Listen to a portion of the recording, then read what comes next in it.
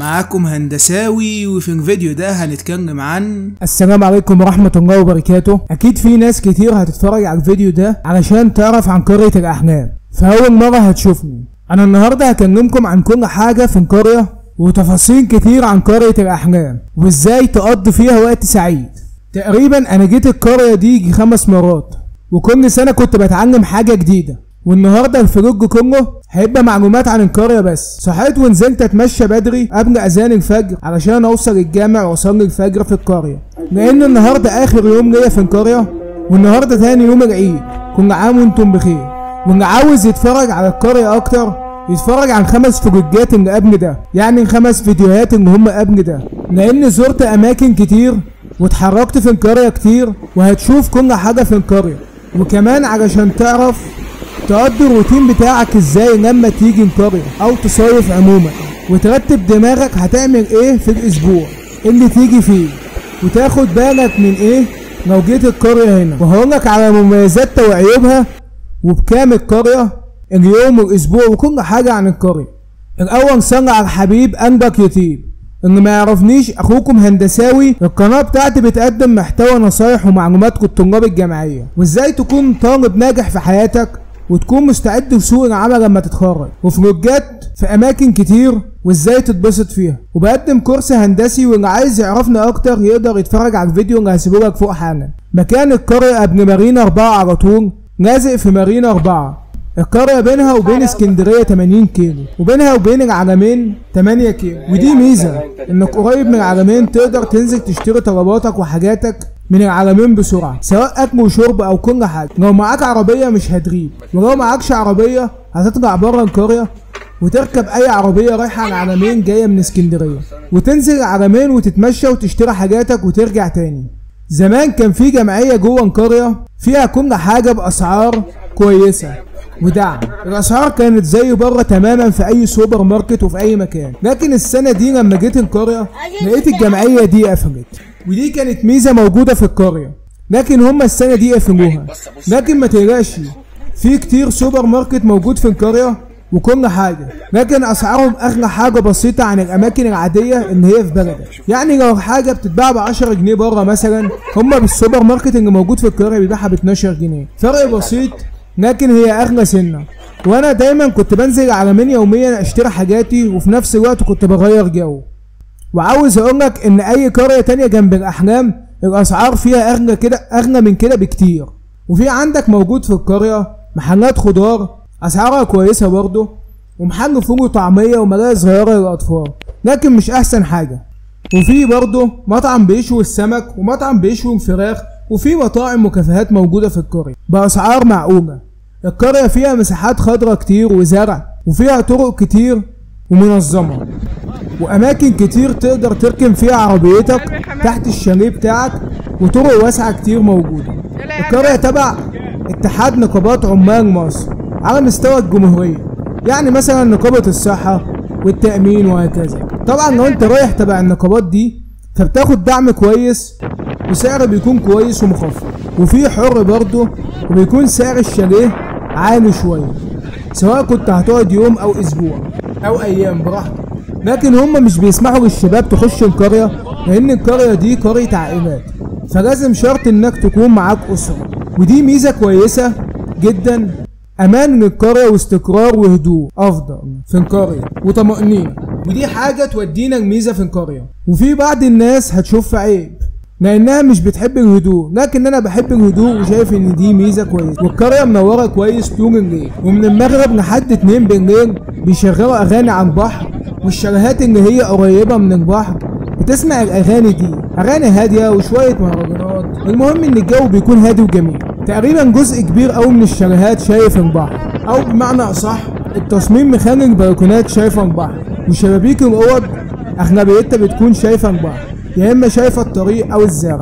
عندك في كل بلكونة ركنة حلوة تقدر تقعد أنت وأسرتك في هوا جميل وشايف زرع وبحر أزرق وهدوء تام. وأجواء جميلة. عندك موجود تلفزيون ممتاز.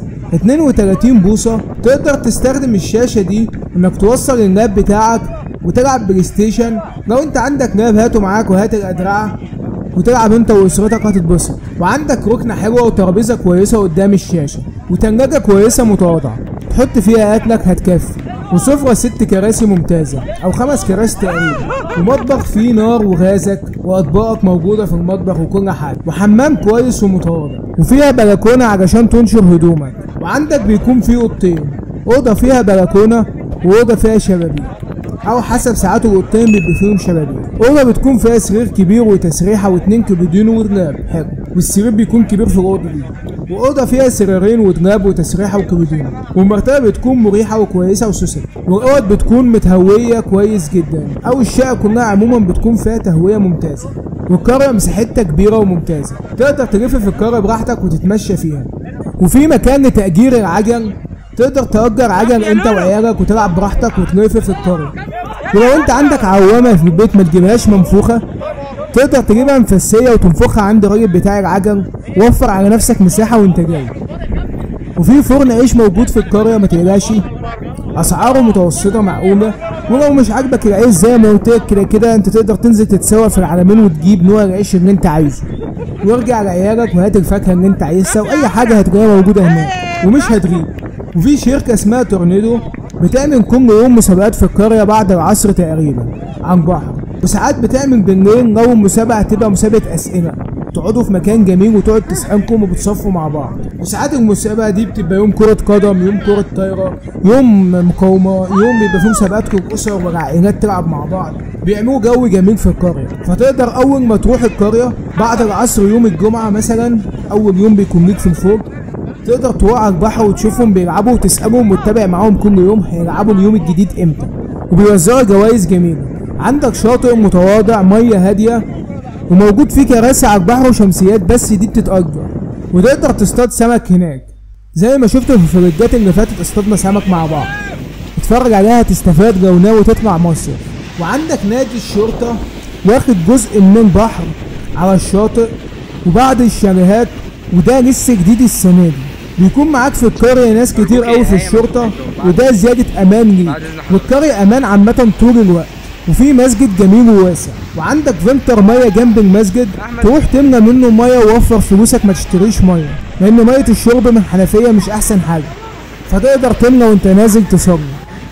وعندك ملعب كورة 11 وخماسي وسباعي تقدر تجمع ناس وتروح تلعب هناك مجانا.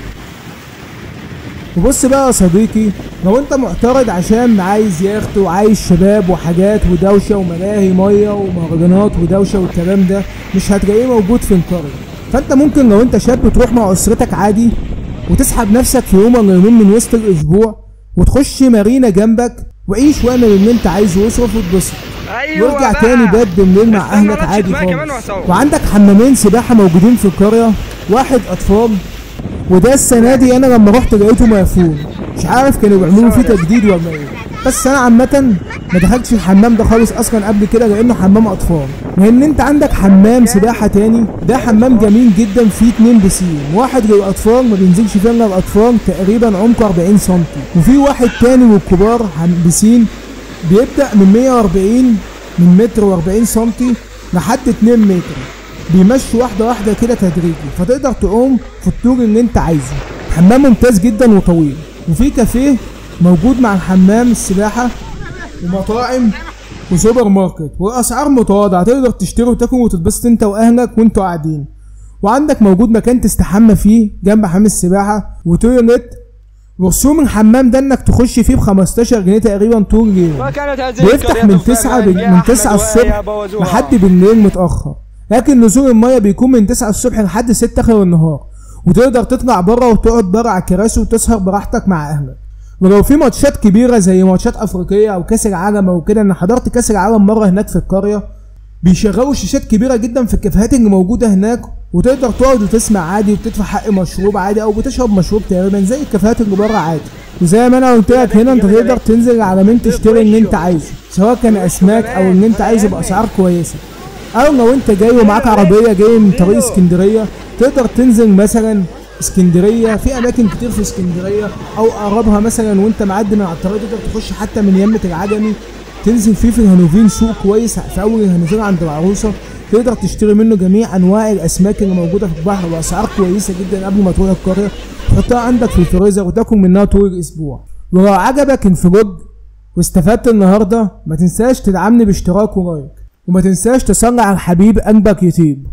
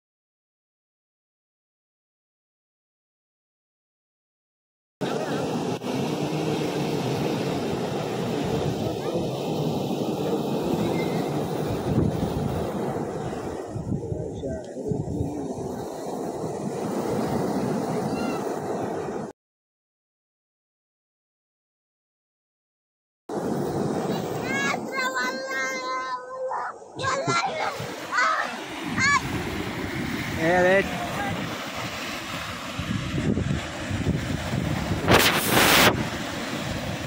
هو عمر فين يا أحمد؟ هو ده بالمشي مش عارف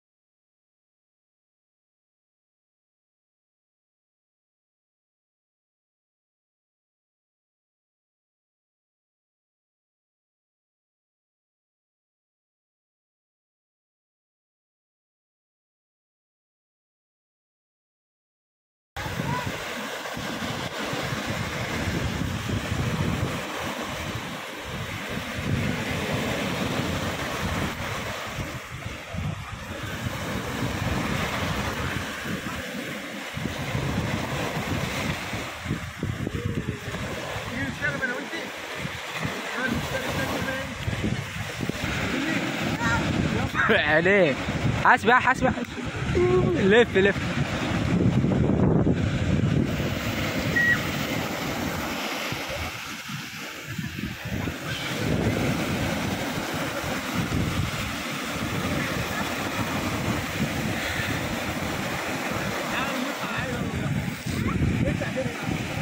استنى. 1 2 3 اجري اجري اجري اجري.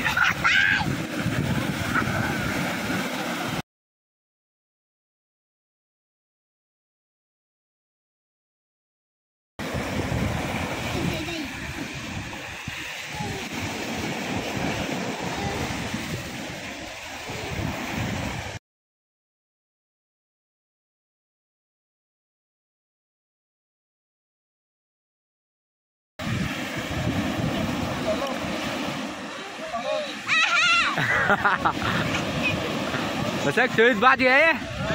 حط إيدك الشمال إيدك الشمال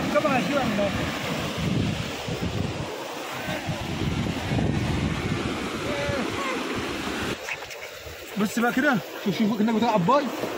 بص ده لما بتكون بتلعب باي ارتكاز آه بتعرف ده إيه بتخفف الوزن بالظبط كده.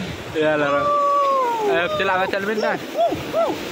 اجمد يا بطل 10 كيلو. يلا تاني.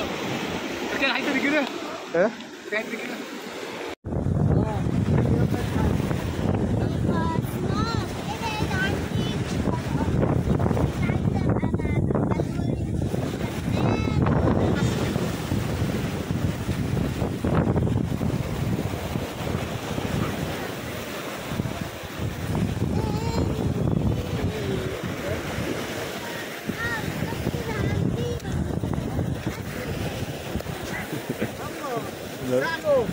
صورت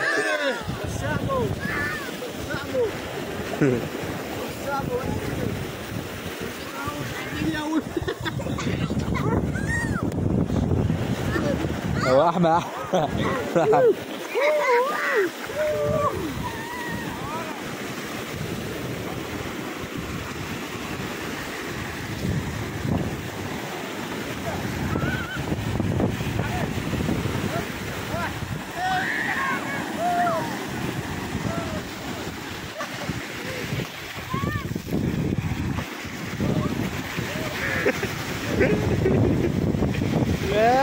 atdatės.